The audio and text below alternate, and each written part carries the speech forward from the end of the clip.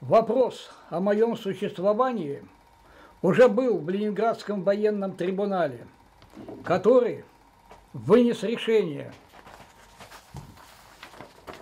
Дело по обвинению Бусыгина Василия Семеновича 1897 года рождения, уроженца города Уржума Кировской области – до ареста старшего телеграфиста Кронштадтской района службы связи Балтийского флота пересмотрено военным трибуналом Ленинградского военного округа 22 июля 1969 года.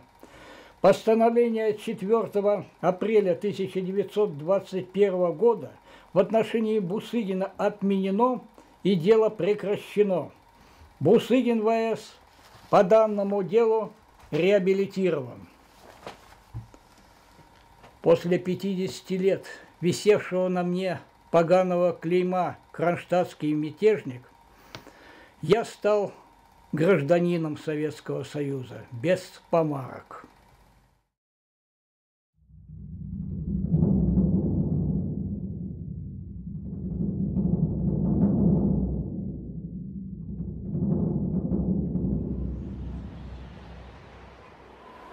Печати часто встречается фраза «никто не забыт и ничто не забыто». Хорошая формула, душевная формула, а память – злой властелин, начинает перелистывать страницы истории. Вот страница, датированная мартом месяцем 1921 года тому времени в Кронштадте оставалось минимальное количество матросов. Что касается клешников, то они обретались в Питере. В Кронштадте им делать было нечего. 24 февраля начался Шухов, шум на Путиловском заводе в Петрограде по поводу голода. А в марте в Кронштадте произошло событие, которое назвали мятежом. Хотя Кронштадт Флотский не реагировал на выступление путиловцев, и все-таки на острове объявилась компания Калинин с женой своей и еще какие-то его спутники. 1 марта времени было часов 10, когда в команде службы связи объявили, что на Якорной площади будет митинг по поводу петроградских событий – Выступать будет сам Калинин. О Калинине обычно было мнение у многих в Кронштадте, что это замкнутый человек, и общение с окружающими у него какое-то непонятное, нелегкое, эгоистичное. Да и тактичностью он не отличался. На митинге получился скандал. Калинин разошелся и с кем-то поругался с трибуны. Он, видимо, был уже возбужден тем, что происходило в Питере. С хлебом, мол, в стране плохо, так не вздумайте и вы требовать хлеба. А если какой-то слушатель гражданский крикнул «Вы нам хлеба дайте!» И тогда Калинин, комиссар по панике, вскипел и истерически рявкнул «Вы крови хотите? Тут будет кровь!» Такие фразы были неуместные. После своей речи Калинин спустился с трибуны, сел в санки, не думая о том, какие последствия его выступления будут тут, и благополучно укатил обратно в Питер. Ошарашенный такой речью, кто молча старался понять, кто воспринял ее как случайно свалившееся шутовское выступление и хохотал во всю глотку, кто-то выступил с проектом резолюции. А что было в резолюции, не помните? А, там было порядка дюжины пунктов, а может и больше. О свободе торговли, о кустарном труде, отмене продразверстки, которую, кстати, отменили буквально спустя две недели решением 10 съезда партии, когда был введен НЭП. Были и политические требования – Вся власть советом, а не партиям. Вот один из основных лозунгов резолюции. За нее проголосовали Все за резолюцию? Кто-то выкрикивает. Все! Резолюция принята. А дальше события приняли трагический оборот. За митингом на Якорной площади последовал ультиматум Зиновьева. Достукались, сдавайтесь, иначе перестреляем всех тут, как куропаток. Это выступление взбудоражило людей. Как можно так и такими словами разговаривать? До этого с матросами таким тоном никто не разговаривал. Кронштадт в первый раз встретил такую хамскую вежливость. Росло на кораблях возмущение. Даже члены партии возмутились таким обращением. Петроград, 6 марта. Подписан приказ с предупреждением Кронштадту. Подписи пред Реввоенсовета Республики Троцкий – главком Каменев, затем стоит подпись Тухачевского. В зрительном зале инженерного училища второй митинг. А на Раненбауском берегу втихаря уже шла какая-то подготовка. Подвозили войска, орудия артиллерийские и прочую военную технику. Через 24 часа с Раненбаума раздались выстрелы – с 12 часов дня 6 марта артиллерия громила Кронштадт. Шестидюймовые снаряды стали падать около кораблей. Один снаряд упал на палубу линкора «Петропавловск». Первые жертвы 28 человек. Тут оказались и убитые, и раненые. Что же было делать Кронштадту? Отбиваться. А как было реагировать на разрывы в Кронштадте снарядов, посылаемых Троцким из Оренбаума? Как реагировать на само наступление? Не мудрено, что кто-то из кронштадтцев схватил оружие и заявил, чем становиться к стенке безоружным, лучше умереть с оружием в руках. Умирать так умирать. Бежали на драку, некоторые не вдаваясь в правоту. Раз на нас идут с оружием, то надо отбиваться. Наших бьют. Кронштадт не привык к такому способу обращения с ним – и понемногу стал отвечать тем же с борта линкора «Петропавловск». Только после четырех часов артиллерийской долбежки, когда в Кронштадте оказалось порядочно раненых и убитых, Петропавловск дал первый ответный залп своей артиллерии. Через несколько часов и Севастополь сделал несколько ответных выстрелов.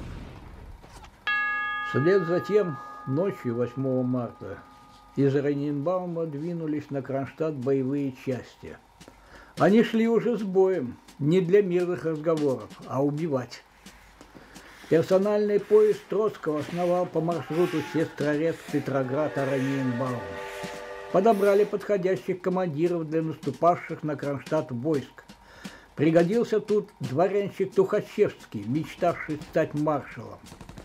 Когда было первое наступление со стороны Оренбаума на лесную биржу и торговый порт, все кинулись туда отбиваться. У торгового порта была оружейная перестрелка, а у Петроградской пристани не стреляли. Среди пригнанных в Оренбаум парней не все бездумно выполняли приказы. Некоторые роты заявили, что они не пойдут – Первая волна атакующих едва дотянулась по льду до Петроградских ворот, и тут, обессилев от марша Оренбаум-Котлин, сдалась. Они были расквартированы в северных казармах, их накормили и напоили чаем.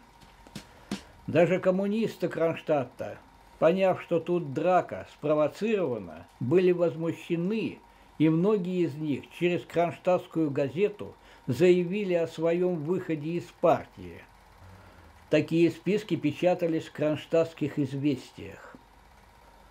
Сами партийные разложились, забюрократились, закомиссарились, как говорили тогда, а в заключение отреклись от партии. А некоторых политработниках оголтелых арестовали, и они содержались в северных казармах. Но никто из них не был убит, не был даже обижен. Надо сказать, что коммунисты вели себя подло. Они показали не лицо свое, а свою задницу. Наступление было отбито. Тот в торговом порту Кивистик Владимир, эстонец, был убит. Первое наступление 8 марта Вальдемар Кивистик схватил винтовку и побежал навстречу. Одетый в меховой бушлат, он получил пулю в сердце и упал на валу около лесной биржи. Пуля прошлась от груди до спины на вылет. На спине меховая кожа оказалась широко разорванной в разные стороны. Видимо, пуля была разрывная. Так началась кронштадтская трагедия. Братоубийственная драка, а поражению Троцкого-Зиновьева – кронштадтский мятеж.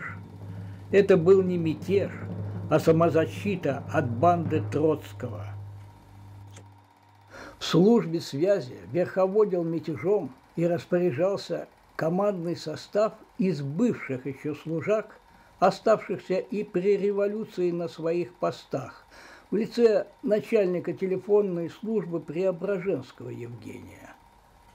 Помнится, осенью 20 -го года, когда повсюду заканчивалось смутное время, он сидел в компании отдыхающих радиотелеграфистов и трепался.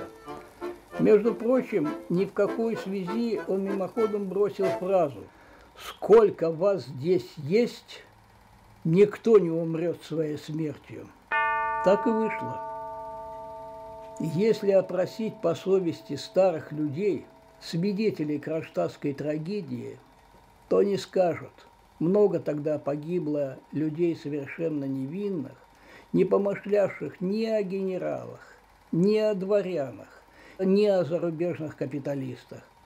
Они не проявили ничего враждебного советскому государству – если кто и схватился за винтовку, то только после того, как Зиновьев 3 марта обещал всех матросов перестрелять как куропаток, и без суда и следствия они были уничтожены только по воле отдельных личностей, которые сами-то имели рыльца в пуху. Кронштадт имел на своих базах продуктов всего на три дня – Зачем было лезть с пушками, пулеметами, пистолями на Кронштадт, когда уже 15 марта были выданы последние консервы, баночка да пряник из ячменного кофе. Этот бисквит даже и голодным в горло не пошел. Его повыбрасывали, несмотря на голод. Топлива также не было.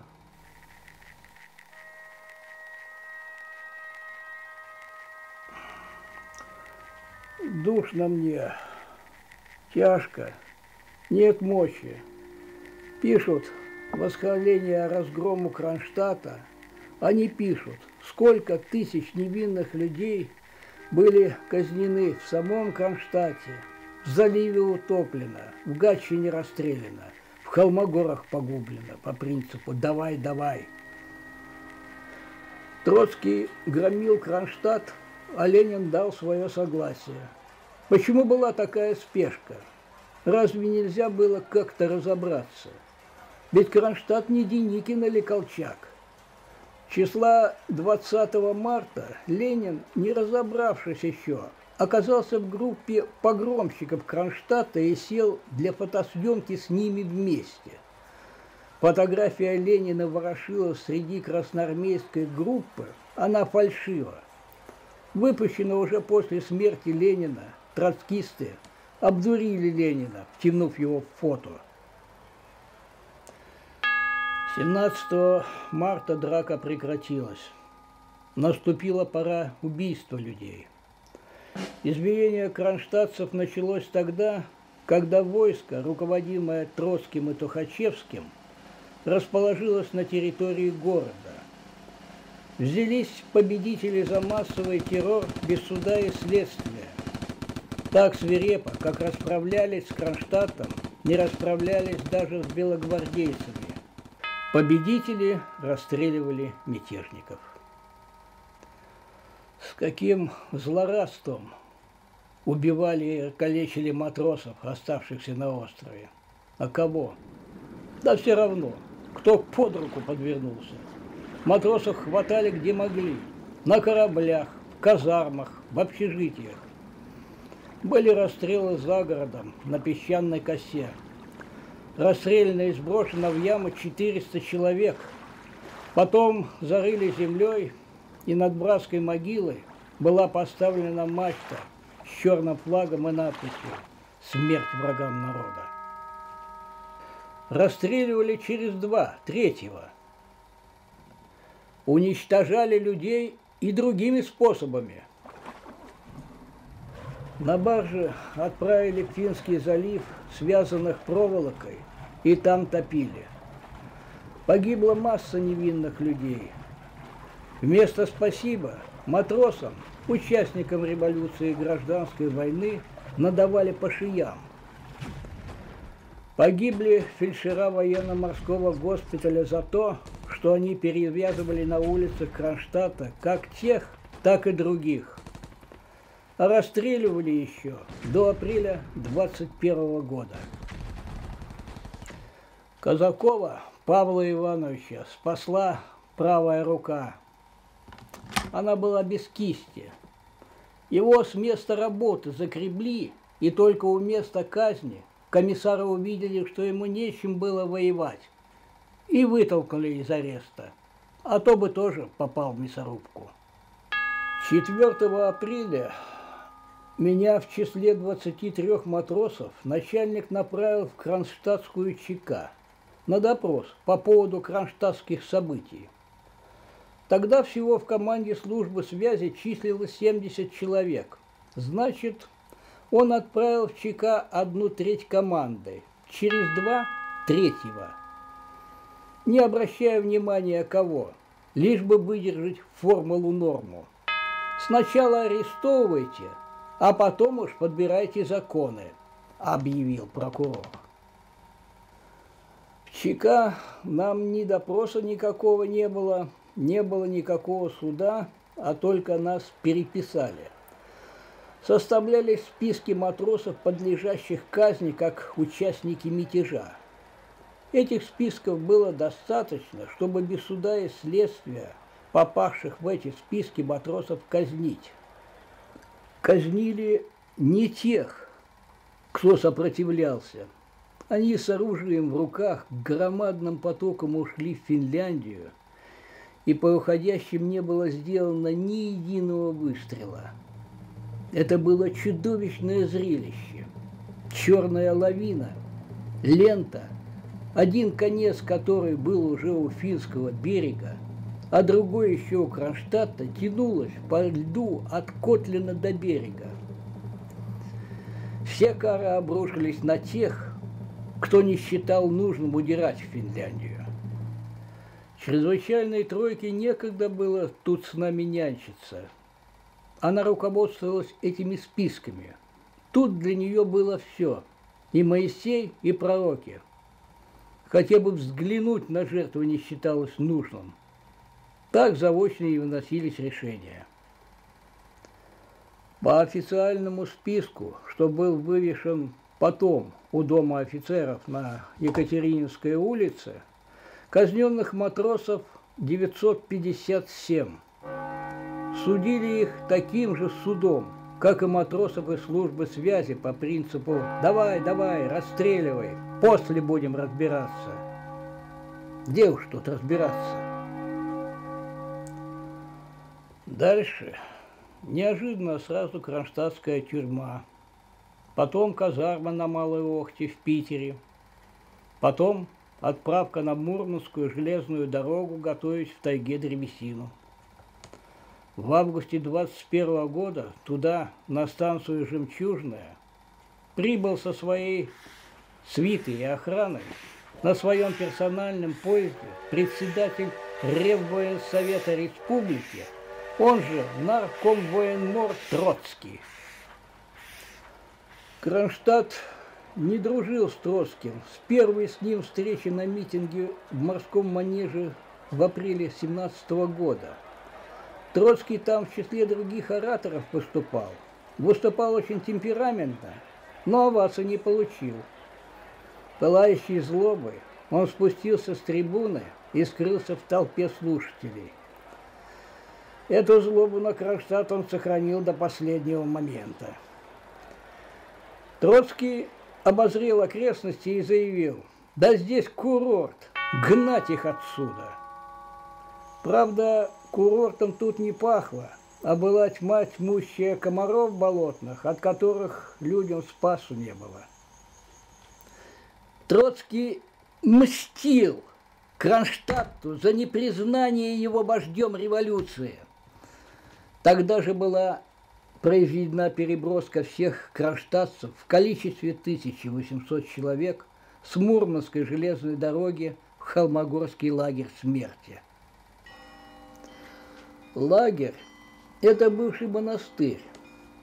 До нашего прихода там обреталась сотня деникинцев-казаков. С приходом матросов деникинцы были куда-то переведены – все мои справки, документы, письма были у меня отобраны и сожжены. Видимо, считалось, что они мне уже больше не потребуются. При содействии сыпного тифа число арестованных стало быстро убывать. Много в тайге осталось народу. Крепко поработал тут сыпняк. Люди умирали ежедневно,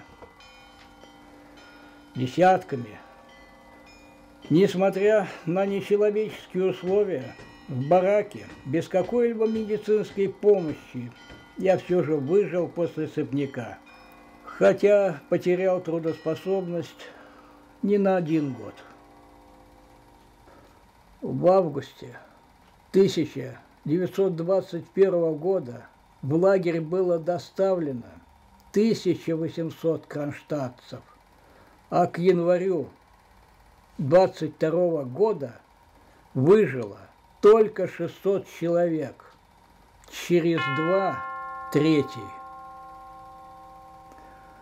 В канун крещения вечером 6 января по старому стилю без конвоя пешим порядком по левому берегу реки Двины я был направлен в город Архангельск на пересыльный пункт – пути находился 21 день.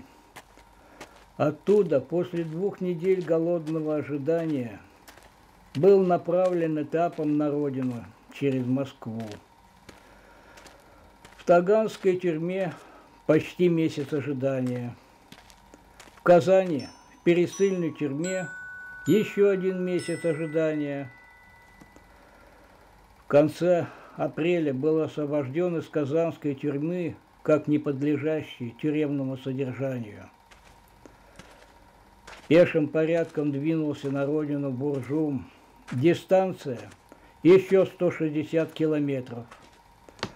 Идти пришлось поселениям, где люди умирали от голода, царившего в Поволжье. Ну а дома целый год ушел на поправку – и на восстановление трудоспособности. Хотя полного восстановления сил уже не получилось, но все-таки пришлось направиться на поиски работы на Урал. Тогда, 1923 году, работу было трудно найти. Да и радиотелеграфисты тут были ни к чему, а другой специальности у меня не оказалось. Да и обучение, пожалуй, было недоступно по состоянию здоровья и из-за поганого клима. Надеялся после демобилизации поступить в один из петроградских вузов, но сгорела моя мечта на Кронштадтском пожаре. Осталось только память живая.